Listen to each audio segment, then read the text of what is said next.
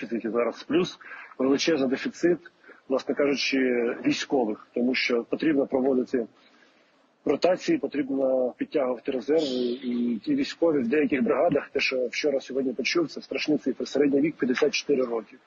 Е, Штурмовік 54 роки не може йти на штурм. Е, Деякі бригади намагаються донабирати, е, і ті бригади, які знаходяться на західній Україні, мають заміняти тих, які зараз знаходяться на сході, і ті мають відпочити трошки, хоча б для того, щоб відновитися.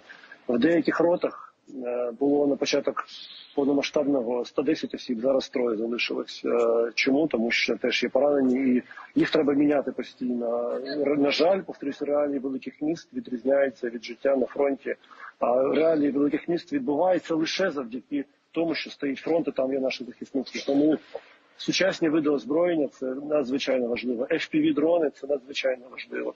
Мавіки це надзвичайно важливо. Те, що ми чуємо, росіяни починають використовувати fpv дрони навіть е, комбіновані з можливістю атакувати вночі. Те, чого раніше не було. Нам показували відео, страшне відео, коли вночі вони fpv дронами потрапляють по нашій піхоті.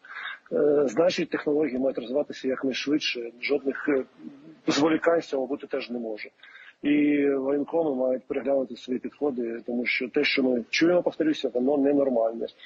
Е, Не може країна воювати 54-річними штурмовиками. Ви абсолютно правильно сказали. Такі штурмовики звертаються і по ліки, і по тонометри, і у них е, так само скаче тиск. І попри те, що ви кажете, не може бути 54-річний чоловік штурмовиком, вони такі є.